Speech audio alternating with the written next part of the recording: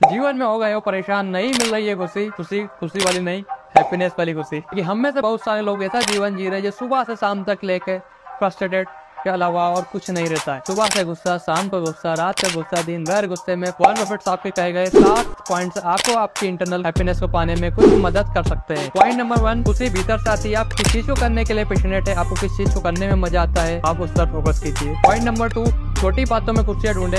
आप यदि किसी टास्क को करने जा रहे हैं और पूरा नहीं हो रहा तो बड़ी हद तक आप उसमें सक्सेस पा रहे हैं। तो आप उस चीज़ के अंदर ढूंढ सकते हैं कि आपने चलो कुछ हद तक तो उसे सही किया। पॉइंट नंबर थ्री सादगी का जीवन जिए और दिखावे की ज़िंदगी से कोई मतलब न रखे। पॉइंट नंबर फोर सहीता से सोचे आपने जो भी गलती की है, उसे एक्सेप्ट करे और उसे सही करने का ट्राई करे। And don't repeat this mistakes again and again point number fifth सरलता के साथ निवेश करें। जितना हो सके उतना पैसा बचाकर आप उसे किसी सही जगह इन्वेस्ट करें। पॉइंट नंबर सिक्स जीवन में किसी को मार्गदर्शन बनाए, क्योंकि हम सभी के जीवन में एक मेंटर होना ज़रूरी है कि वही हमें सक्सेस का रास्ता सही तरीके से दिखा सकता है, या हमें उसके लिए गाइड करेंगे। Point number seven last but not least पैसा कमाना ये जीवन का उद्देश्य नहीं है। आप दिन रात मेहनत सिर्फ़ इसलिए ना करें कि आप पैसा ही कमाना चाहते हैं।